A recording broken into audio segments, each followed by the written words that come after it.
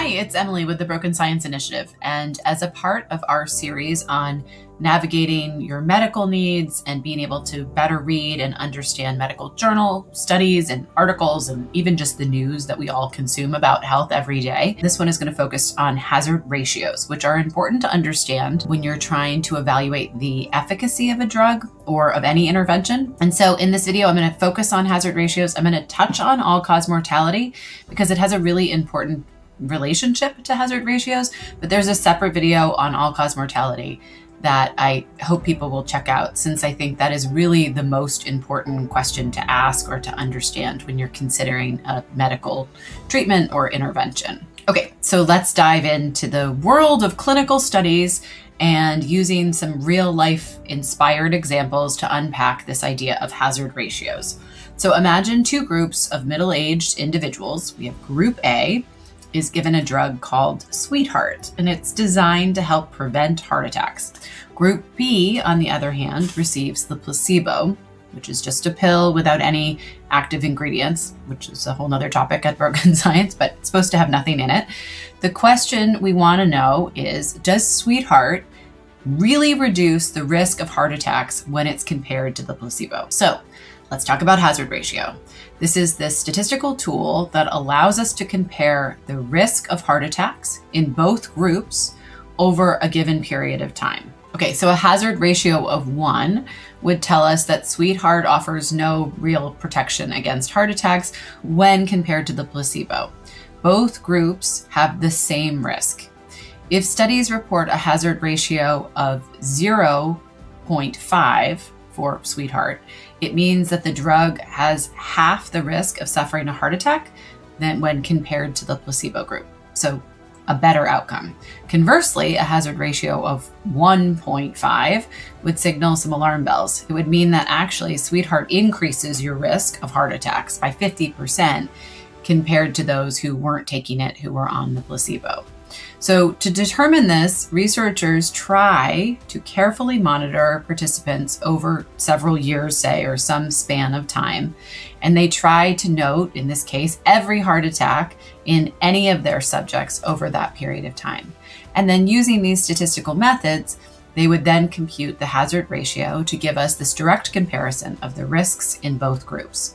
So, Knowing the hazard ratio allows patients and doctors and researchers to weigh the benefits and the potential dangers of treatments, you know, like Sweetheart, right? Or any drug, really, or any intervention. A hazard ratio is really just essentially a measure of the hazard or risk of an event, like a heart attack, stroke, death, in one group compared to the other group over a period of time. So the word ratio is key because it's about comparing these two. So again, just to reiterate, if the HR hazard ratio is one, it means there is no difference between the two groups. If it's less than one, it means that the event's risk in the treatment group is less than the control group. If it's more than one, then there's a greater risk in the treatment groups. You probably don't want that treatment than in the control group. So that it's actually fairly simple once you understand that breakdown. Now I'm going to complicate things. So picture this. You or someone you love is prescribed a revolutionary new drug that's supposed to combat some severe illness. So the initial reports coming out are saying it's very effective at tackling this specific problem that you're hoping to to cure or you know reduce your risk for. Let's say it's heart attacks. So the headlines all over the world are boosting that this is a super successful drug that everybody should be taking it. But you've taken the BSI class and you know that it's important to look at the primary research. And when you do that, you find buried in the data another vital statistic, all cause mortality. Now, while the hazard ratio is favorable, it may reduce heart attacks. Patients that are taking this drug have a higher rate of overall death. Now, how can this be? And this is where there's this fascinating interplay between hazard ratio and all cause mortality. And these two things are really important. They're sort of like twin pillars that can kind of reveal these surprising truths about medical treatments and their sort of broader effects or impacts. So, what do these terms really mean? Well, we've talked about hazard ratio, and we'll just reiterate here that it's essentially a relative risk measure of hazard or risk of an event, so heart attack, stroke, death, in one group as compared to another group over time. Okay, so while the drug may work, it may treat the problem that you're hoping to treat, it may also cause other problems, and some of them may be more severe than you're willing to take on. So, all cause mortality is really important. And what does it mean? It's just what it sounds like it's the total number of deaths, regardless of cause. So, if we see a reduced risk of heart attacks with our new drug, but the all cause mortality rises, it prompts a really important question Is the treatment leading to other unforeseen complications? So, let's dive into another example to hopefully help you understand this and illustrate it a little bit better for you. In a hypothetical study, we have drug X, and while it effectively reduces cancer related deaths, so a promising hazard ratio of 0.70 or a 30% reduction, a deeper dive reveals a 10% spike in all cause mortality in the treatment group compared to the placebo group. So, what does this imply? Potentially, it means that while drug X fights cancer effectively, it might inadvertently elevate the risk of other lethal events, maybe infections, heart failures, all of these other things that need to come into play when you're making these decisions. And it's where this happens, where these two metrics become really vital for patients to understand in terms of safety and in terms of their decision to go forward with a treatment.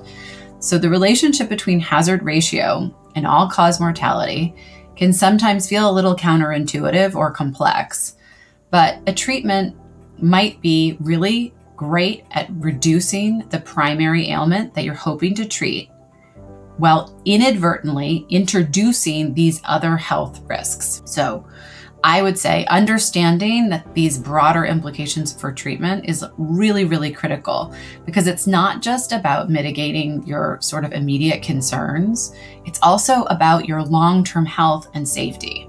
So, knowing this information, I think, really empowers patients to be more insightful and it allows you to have better conversations with your healthcare providers, your doctors, your advocates that I think can lead to a more collaborative environment where you're allowed to be a participant and you're allowed to sit at the decision making table and you have really good informed questions to ask that may challenge them a bit but ultimately, this is your choice. It's your decision whether you're going to have the treatment or not, or you're going to, there's an option of different treatments. And knowing how to dive in on this stuff is really important. I think it also restores your confidence as a, as a patient that you're making informed decisions as you move forward. So, a little more background hazard ratios are commonly reported in studies that utilize a specific type of statistical method.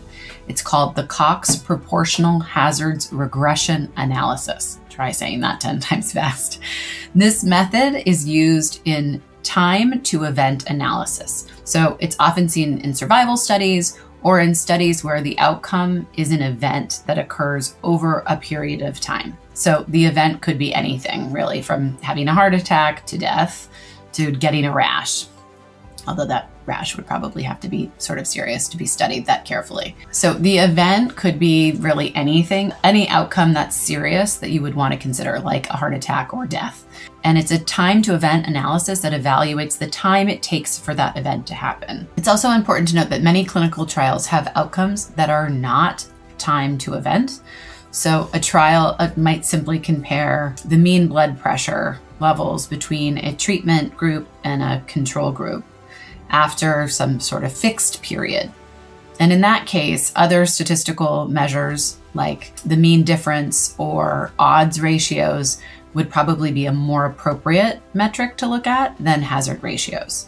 Some clinical trials focus on safety or on pharmacokinetic profiles, which we're not going to really get into, and those also don't really involve hazard ratios at all. While hazard ratios are really crucial and important for interpreting results of many clinical trials, especially those that are involving the time to event outcomes, they are also not mandated or required for all trials. So you always want to refer to the sort of specific clinical trial to determine whether the statistical measures are relevant or meaningful. And you'll kind of know that based on what your treatment is or what the protocols are that your doctor is talking about. And you can always ask and say, like, do you know what the hazard ratio is? And everything should have an all cause mortality. So that's a little different. But if you ask the doctor, what's the hazard ratio? They should know, or they should be able to look it up, or they should be able to tell you, oh, this kind of trial didn't have that because of X, Y, and Z. And again, I'd really encourage everybody to go watch the all cause mortality video because I feel very strongly that, like, if the, again, I'm going to say this a hundred times, but like, if there's one question you ask when you're going in for some sort of treatment, is does this increase or decrease my all cause mortality? Am I going to live longer or shorter if I have this treatment? What is the likelihood of that? That is, I can't even tell you how often that is not discussed. And I find that to be a huge problem. And I think part of that is this complex nature of our healthcare environment. Doctors are very specialized and they want to solve problems.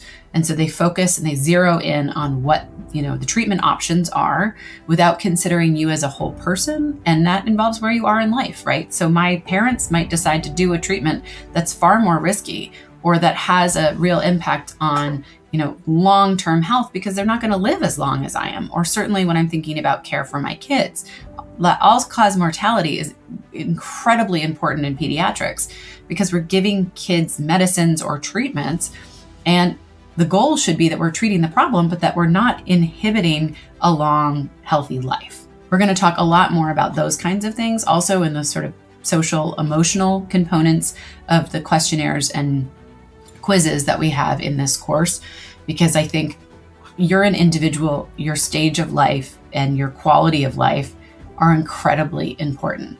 And they're not really looked at as critically as I think they should be or considered as much when you go to the doctor. The doctor's very exclusively focused on solving the problem in front of them, and that's fine, that's their job.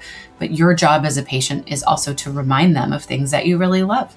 And you want to know that your treatment options aren't going to prevent you from doing the things that you really love.